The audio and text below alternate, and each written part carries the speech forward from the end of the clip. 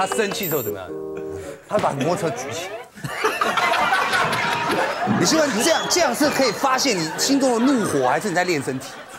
我想就是就是应该发泄了。这样好了，就今天这沙发你举起来，举起来给我们看啊！沙发你举得起来吗？我举你好了。好，来。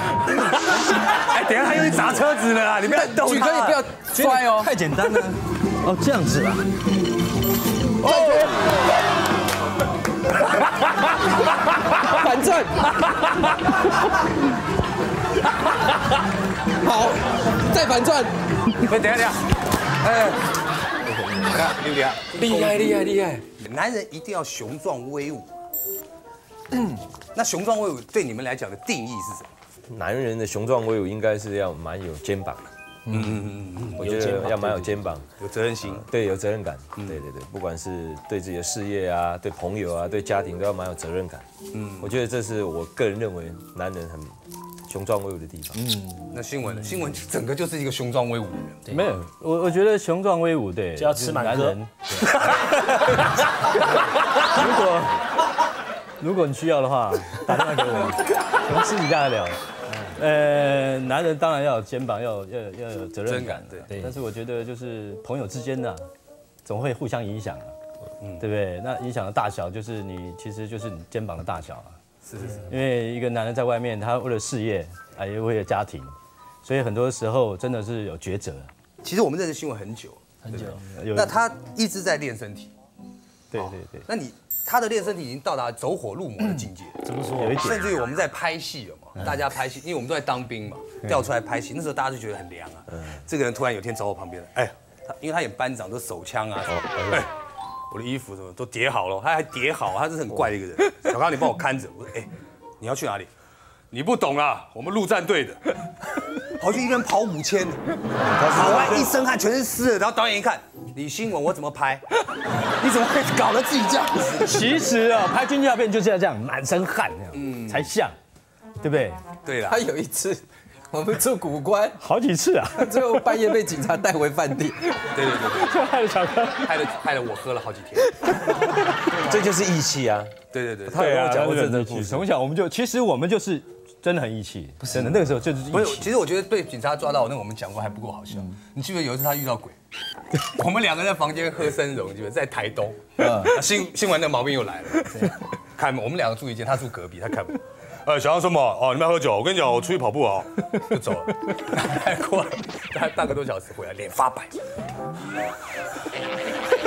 你干嘛？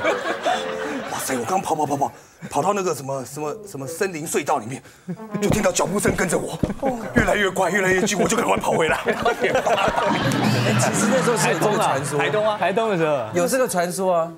是那个地方真的隧道里面吗？对对对，不是不是回音啊，它是那个林荫大道，对，感觉就像进入一个隧道。台东很有名，就是那个梧桐树那边嘛，那整条路你晚上看几乎是黑的，白天看都阴阴凉凉的这样。他大哥跑去那边跑步，你知道那边离我们饭店多远？多远？在十五公里以上，十五公里，他可以跑到那么远，来回啊要大概二十，然后还还吓到这样跑回来这样，你看。李新文，所以我以前就很喜欢运动啊。我觉得我们我们拍那种军教片一定要雄壮威武。对对对，对不对？这是责任啊。五官那个是 古关呢，其实为什么？再给大家回忆一下。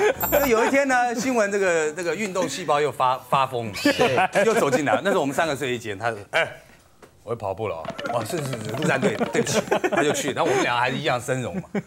然后过一会就他回来了，脸色又发白了。不是不是不是，哎，我的身份证呢？我的身份证，我干嘛？干嘛要拿身份证？你听我讲，小康小康，你先下去帮我围，帮我围围什么？没有没有没有，你先下去啊！警察把我抓回来，我赶跑下去了。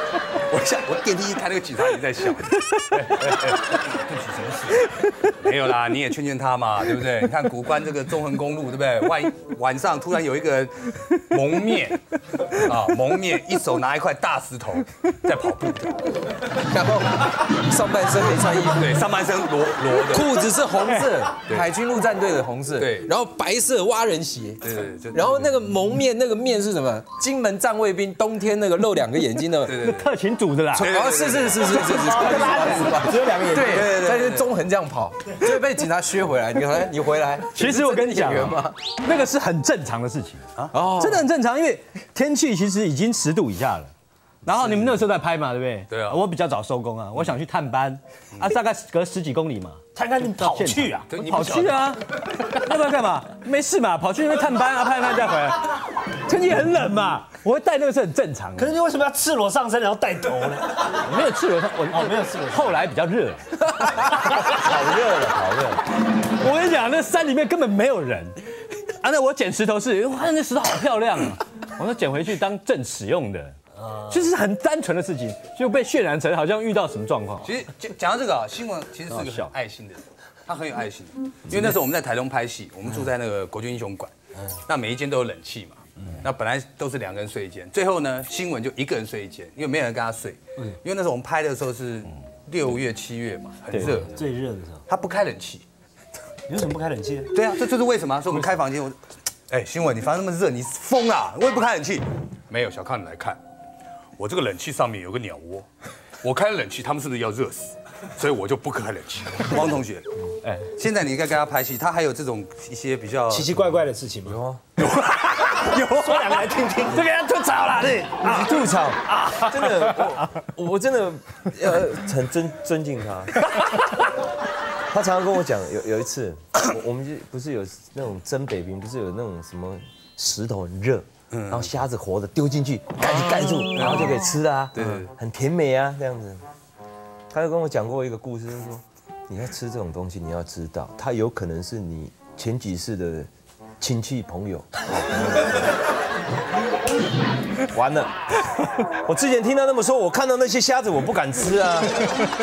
他有可能是我兄弟姐妹，也有可能是个好朋友，我这真的不敢吃，就因为他一句话，到现在我从来不敢碰。要帮那一下办告别式，还有啊，有一个工作人员突然打死一只蚊子，他开始念往生咒。没有啊，就讲欧欧嘎贝拉甘木沙哈。哦，你来来新闻是一个很虔诚的一个信徒。那我们刚刚讲到雄壮威武，哇塞，新闻雄壮威武，怎么样？他生气了，他生气之后怎么样？他把摩托车举起来。你新闻这样这样是可以发现你心中的怒火，还是你在练身体？我想就是就是应该发泄啦，为什么要发泄骑摩托车？因为眼前只有这个。哦，要不然如果是人的话，你就小心一点。对，因为有的发泄是在当下，啊，对对对他不可能我我我生气，等一下我坐到高雄去发泄。对对对对，他当下我摩托车摩托车，对不对？他现在好很多。还好很多有一次我们在拍一场戏啊，差不多拍了差不多一个礼拜，一场戏哦，就小南国那里。对对对。然后哦，然后那那一锅菜啊，一桌的菜可能拍了三天五天的，还是在那一锅。哎呦，还在烧。然后，然后后来就大家喊收工的时候，或是休息的时候，他有一次我看到他一个人就这样，为什么是这样？去去去去！为什么要休息？他一直都不赶快拍完，我 我已经熬夜熬了好多天了，你们为什么还这么样放纵自己？然后为什么不认真一点？到底有没有去睡觉？然后他他是那种很想要把它做好啊，然后他一个人就在那边闷，然后他都不敢讲话，也也不想讲话，也不敢跟大家大声，因为大家也很辛苦，他也知道。然后他就看他在深呼吸，上一次你那个你那个举摩托车起来的时候，你是为什么是气成这样？你还记得吗？就是一股，就是一股要发泄的力量。这样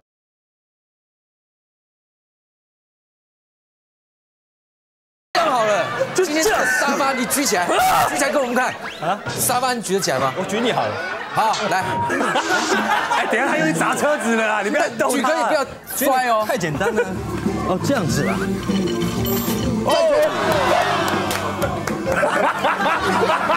反正，好，再反转，喂，等一下等一下，哎，看厉害？厉害厉害厉害！